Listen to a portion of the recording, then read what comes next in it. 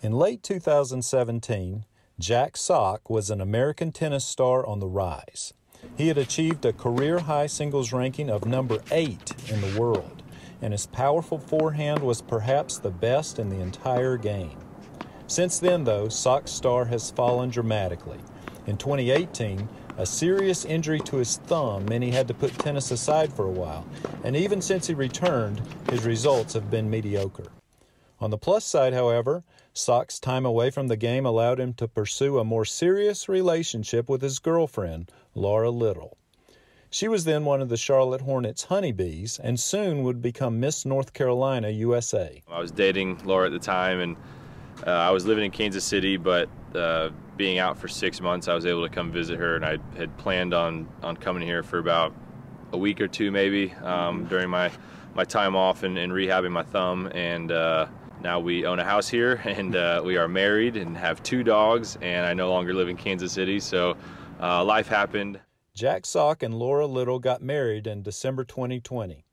They've bought a house in the Davidson area. Now, with his personal life settled and his injuries healed, Sock is embarking on an ambitious comeback plan to achieve tennis stardom once again. I don't think we'd be out here in this weather and everything, you know, grinding, trying to get ready if I didn't, you know, believe I could get back to you know, close to that, to that, better than that. I think clearly I've proven, you know, I can, you know, play at the, the highest of levels. He's only 28 years old, but his singles ranking has dropped from number 8 to number 257 in the world. However, he's training regularly and once more hitting the ball beautifully.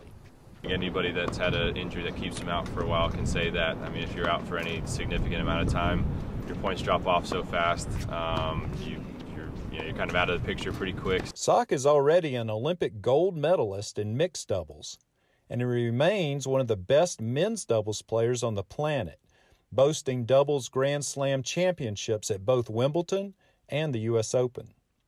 But he wants to prove to himself and to the tennis world that he can become a top singles player again. I love being on court. I love competing. Um, I love the trial of traveling. And uh, I mean, at this point, I just kind of want to prove it to myself, to, to my wife, my family, you know, my team. For now, Sock plans to keep grinding away on a remote court in the Charlotte area, sometimes playing world class tennis to an audience of, well, no one, except for a couple of circling hawks. That's okay, though. The big crowds, Sock believes, will one day be watching him play again. What a point!